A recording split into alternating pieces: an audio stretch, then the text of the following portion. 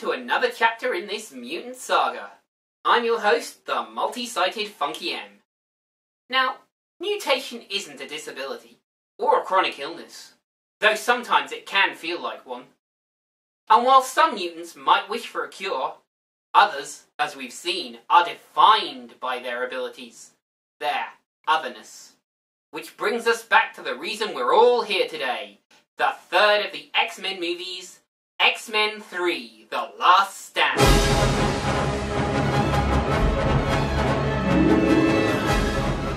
Released in 2006, X-Men 3 was somewhat of a departure for the franchise, as without director Bryan Singer, a slew of directors were lined up, and Brett Ratner would eventually take the helm.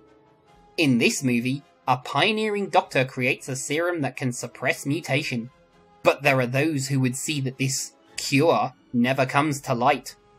Coupled with the fact that Jean Grey isn't quite dead, you would seem to have the recipe for another rip-roaring slice of mutant mayhem.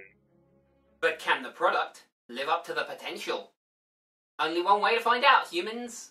So let's continue our mutant on with X-Men 3 The Last Stand. We opened 20 years before, as Charles and Erik, this saga's real protagonists, meet a very special young girl.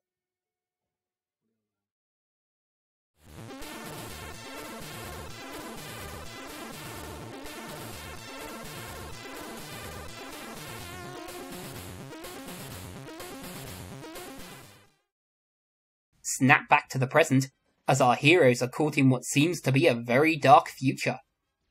But shock! It was just a simulation. Oh man, the danger room. You know, nothing can prepare you for it. And it can get quite brutal. I still have scars. And Wolverine was only substituting for Cyclops, who still mourns his lost love. In Washington, we discover the fate of Mystique.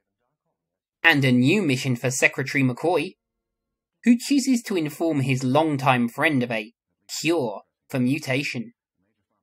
And it isn't crazy to imagine that some mutants might consider taking a cure if ever one was made available. And if I'm honest, I've had days where I thought like that too. I mean, you don't even want to know what I might have half seen out of the corner of my eyes. Cyclops returns to the scene of Jean's demise, spurred by the whispers in his head. And sure enough, Jean returns from the lake bed, seemingly none the worse for wear. But our lovers share a kiss that is felt all the way back to the mansion. Whoa, that's gotta be some kiss. Best I ever got was a few pecks from me teammates. Yeah, the professor didn't really allow fraternization on the school grounds, so. What's to do? Storm and Wolverine recover Jean, but where's Cyclops? That question is glossed over because the mutant cure is ready for distribution. But its first recipient suddenly has second thoughts. Magneto catches up with his captured comrade and stages the smallest prison breakout in history. You know, I look at that Juggernaut. He doesn't have the aura of a mutant. You know what I do see? Swirling red bands. And a bunch of letters. A C, a Y, two T's, an O, an R, an A, and a K. Witness, however, the rewards of loyalty. She took a cure dart for him, and he can't even lend her his cloak to cover her now human nudity? That's cold, man in all senses of the word. And you got like a metal inside truck, and in the outside it's like the woods, like a lonely road in the woods. Cold. I'm getting cold just thinking about it, man. Back at the mansion, Jean awakes. Or rather, Phoenix awakes. But Logan's having none of it. Retreating to her former family home, Professor X and Magneto attempt to talk her down. But when Wolverine gets tired of waiting, battle ensues.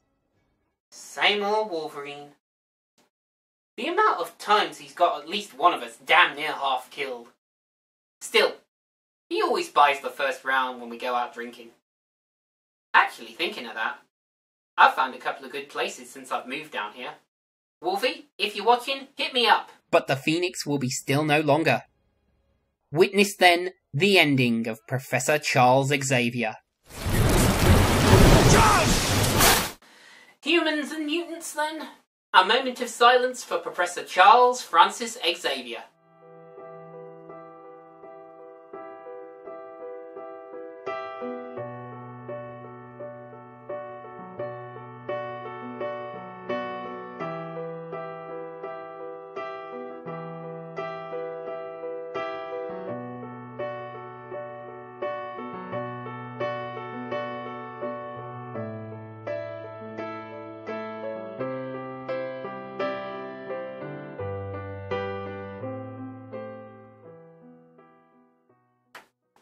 No, man, I can't be this maudlin for this long. In the wilds of America, Magneto is building an army. And Pyro strikes the first blow. Yeah, so back when they were all on the way to Alkali Lake to deal with Stryker, Pyro decided he was better served by being on Magneto's side. Some people just want to watch the world burn, I guess. But the president is only human and orders the army to be equipped with entirely non-metallic cure guns. And so the stage is set for our finale as Magneto's army marches on Alcatraz, the site of the Cure Labs. Enter the X-Men, who bolster the line. At least until Juggernaut goes for the source of the cure, a mutant himself, Leech. But he won't get Leech. Now you see, Leech here, his mutation suppresses the X gene, though somehow not his own. Sort that one out, science side of Muta. And Wolverine pulls off a successful bait and switch to switch off Magneto. But there's still the little matter of the Phoenix to contend with, which isn't helped by a gung-ho military charge. Logan steps up and puts the Phoenix out of our misery. Man, they're dropping like flies today. But there's a lot of people who can share the blame for this whole debacle. And so our movie ends with a new term at the Xavier School, and a ray of hope for an old Jew.